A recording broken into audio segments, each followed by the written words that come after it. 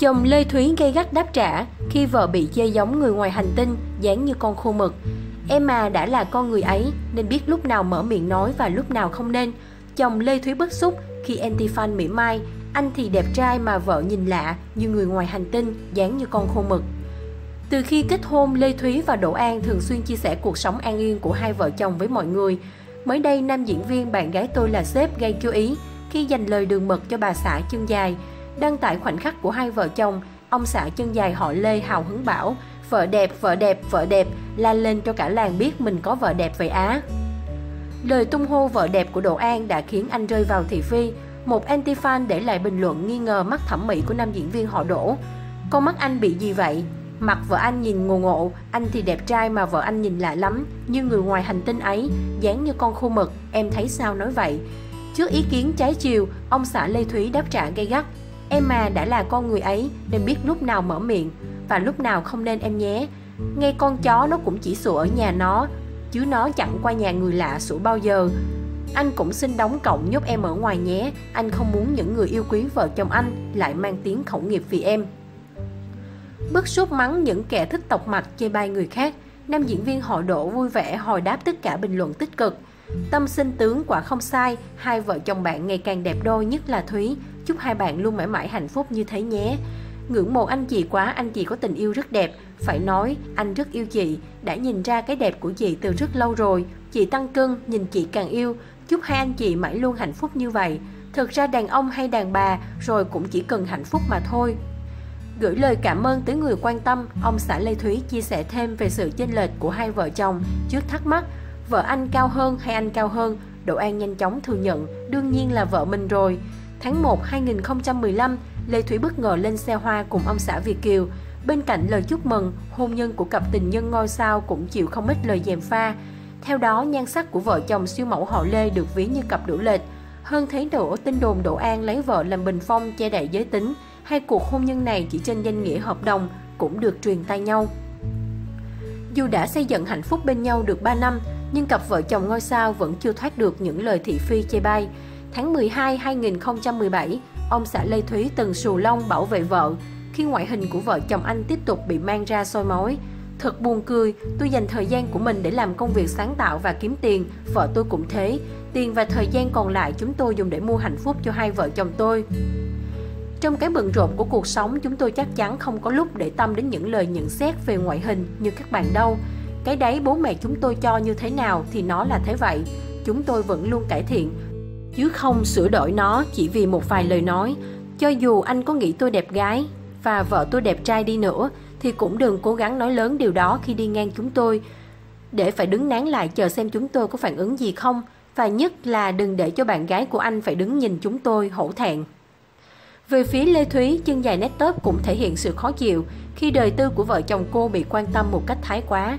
Trước những hoài nghi về việc cô kết hôn 3 năm mà vẫn chưa có bầu, siêu mẫu bảo, hãy tôn trọng cuộc sống riêng của tôi. Khi nào tôi có bầu, tôi ắt hẳn thông báo để các bạn chia sẻ niềm vui đó cùng với tôi.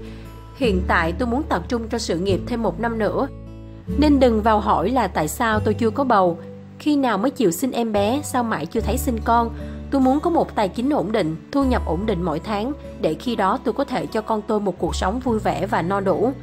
Bỏ qua những thị phi, cặp vợ chồng ngôi sao vẫn đang chung sống hạnh phúc.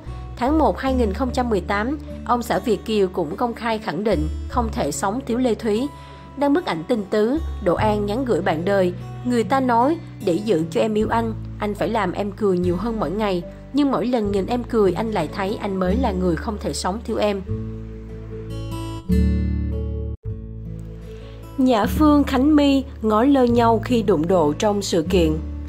Nhã Phương bất ngờ chạm trán Khánh My tại thảm đỏ của sự kiện, gây chú ý của các khán giả. Thời gian qua, chuyện tình cảm ngang trái của Trường Giang luôn thu hút sự quan tâm của người hâm mộ. Theo đó, các mỹ nhân của showbiz Việt liên tiếp tố nam diễn viên hài lăng nhăng, tán tỉnh họ. Sự việc của nam em chưa lắng xuống, thì Khánh My lại tiếp tục tường thuật lại chuyện giữa cô và Mười Khó. Ai cũng cho rằng người tổn thương nhất trong sự kiện lần này chính là Nhã Phương. Tối ngày 11 tháng 5, Nhã Phương bất ngờ cùng chị gái xuất hiện tại một sự kiện thời trang. Khi chị vừa đến địa điểm, nữ diễn viên đã thu hút rất nhiều ống kính của cánh truyền thông. Nhã Phương vẫn giữ được sự tươi tắn vẻ ngoài xinh đẹp giữa những ôm ào tình cảm. Cô diện trang phục khá đơn giản với áo sơ mi trắng kết hợp với chân váy họa tiết nổi bật. Chị gái chính là người thắp tùng cô đến với đêm diễn thời trang này. Đặc biệt hơn Khánh My cũng có mặt tại chương trình.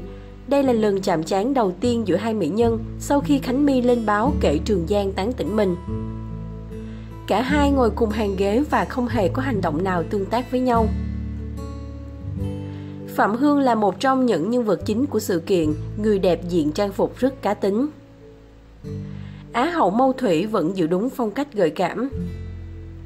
Nguyễn Thị Thành diện với áo xuyên thấu khoe vòng một hờ hững. Diệp Linh Châu cá tính với trang phục vest. Kim Chi Đờ Phây cũng đi xem show thời trang để ủng hộ Phạm Hương. Sơn Ngọc Minh bảnh bao với vest trắng. Thùy Anh lần đầu xuất hiện sau nghi vấn là bạn gái tin đồn của Carrick.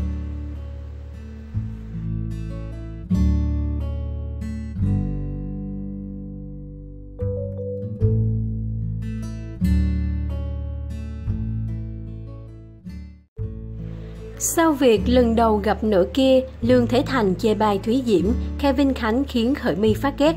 Tuy vậy thì cuối cùng số phận vẫn sắp đặt cho họ trở thành bạn đời của nhau. Trấn Thành Harry Won là một trong những cặp đôi vàng của showbiz và luôn xuất hiện trước ống kính với hình ảnh ngọt ngào tinh tứ. Nhưng ít ai biết khi vừa mới quen nhau, Trấn Thành đã khiến vợ mình bị sụp đổ hình tượng trầm trọng.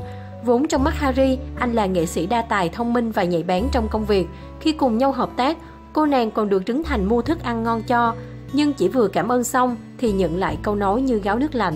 Trời ơi, sao chân em to như voi vậy? Con gái là không được mập đâu em, em phải giảm cân đi. Một lần khác cô lại được anh nhắc nhở Sao em ăn mặc xấu thế em phải thuê stylist riêng đi Chính điều này khiến Harry ác cảm với danh hài Dù biết xuất phát điểm của Trấn Thành chỉ muốn tốt cho mình Từ đó nữ ca sĩ bắt đầu né anh vì cảm thấy cả hai chưa thân thiết đến mức để vô tư nhận xét về nhau như thế Văn Anh, Tú Vi, ấn tượng đầu tiên của cặp tiên đồng ngọc nữ hoàn toàn trái ngược nhau khi Văn Anh hoàn toàn bị vẻ ngoài dịu dàng nữ tính của Tú Vi chinh phục. Thậm chí anh đặc biệt ấn tượng với mùi hương tinh tế từ nữ diễn viên, thì cô lại chỉ có một suy nghĩ duy nhất người đâu mà sao xấu quá. Tuy nhiên sau đó khi cùng hợp tác làm việc, cả hai dần bắt được tần số của nhau và thân thiết. Tú Vi nhận ra anh chàng này không hề xấu mà tình cảm. Còn Văn Anh thì khỏi phải nói càng lúc càng yêu mến cô nàng xinh đẹp này, thế là chẳng bao lâu sau showbiz Việt lại có thêm một cặp đôi hạnh phúc khác. Lý Hải Minh Hà gặp nhau trong một dự án âm nhạc. Minh Hà cho biết ban đầu mình chẳng cuốn tượng gì quá sâu sắc với anh, thế nhưng càng tiếp xúc cô nhận ra nam ca sĩ là một người rất hiền lành, chân thành, nên dần dần trong tim nảy nở tình cảm đặc biệt lúc nào không hay. Phần Lý Hải khi vừa biết Minh Hà đã để ý đến cô gái xinh đẹp này bởi nét dễ thương và dịu dàng. Hơn nữa cô sinh viên khi ấy tuy còn nhỏ tuổi nhưng rất tâm đầu ý hợp, cũng như hiểu ý anh khiến công việc diễn ra được suôn sẻ tốt đẹp. Lương Thế Thành, Thúy Diễm ngay lần đầu tiên gặp mặt, chàng soái ca của màn ảnh Việt đã thẳng thừng chiêu chọc bạn diễn. Sao em đen hơn anh vậy Diễm? Chính điều này đã khiến Thúy Diễm vừa tức giận, nhưng lại phải nhớ hoài về anh. Sau đó cô còn bị Lương Thế Thành bất cẩn làm cho ngã một cú đau điếng tại trường quay. Khỏi phải nói cô lại càng khắc sâu ấn tượng về người đàn ông này. Trong mắt Lương Thế Thành, Thúy Diễm là người lạc quan, luôn tươi cười trong mọi trường hợp. Tuy vừa gặp đã trêu chọc, nhưng ấn tượng đầu tiên của anh về cô nàng không phải là làn da, mà chính bản tính thân thiện, hoạt bát đã khiến nam diễn viên có cảm tình. Kevin Khánh khởi mi có dịp hợp tác rất tình cờ phải nói là như một sự sắp đặt của số phận trong MV gửi cho anh. Cặp đôi đã khiến nhiều khán giả đổ rầm rầm vì thể hiện quá ngọt tình yêu tuổi học trò trong sáng tươi đẹp. Thế nhưng Khởi Biên cho biết lần đầu tiên gặp cô đã không có mấy thiện cảm với Kevin Khánh. Cụ thể nhìn mặt rất ghét và nhìn bóng bóng nên không có thích. Riêng Kevin sau khi đóng xong MV rất vui mừng, thậm chí còn về khoe với gia đình, con được Khởi My mời đóng MV, vì khi đó anh chỉ mới bắt đầu sự nghiệp, còn giọng hát người yêu cũ đã là gương mặt nổi tiếng. Số phận run rủi để cả hai có dịp hợp tác liên tục trong nhiều dự án và phải lòng nhau lúc nào không hay. Trung Kiên Lê Phương Cuộc hôn nhân tan vỡ Lê Phương từng tự nhủ không dễ dàng mở lòng ra với ai nữa. Thế nên lần đầu tiên khi gặp cậu em Trung Kiên, dĩ nhiên nữ diễn viên không hề mảy may chú ý. Hay phải nói là có ấn tượng đấy nhưng không mấy tốt đẹp. Người gì vừa đến trễ mà còn nói nhiều. Trớ trêu thay khi Lê Phương khó chịu ra mặt, thì Trung Kiên lại đem lòng yêu mến cô gái xinh đẹp lúc nào không hay.